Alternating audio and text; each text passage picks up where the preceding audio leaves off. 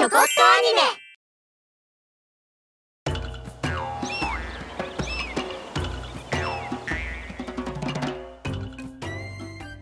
何しているのだ？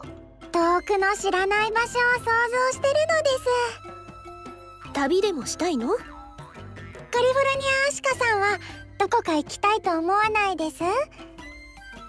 考えたこともなかったわね新井さんとフェネックさんはいつもどこか行ってる感じがするのです。確かに新井さんはあさっての方向に行くよね。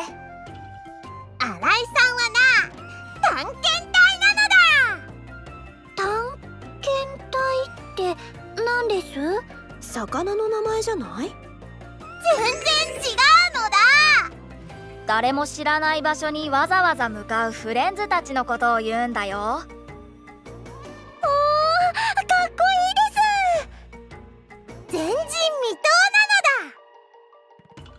ところでどこかに向かってるみたいだったけど。あそうだったのだ呼ばれていたのだ。すっかり忘れてたね。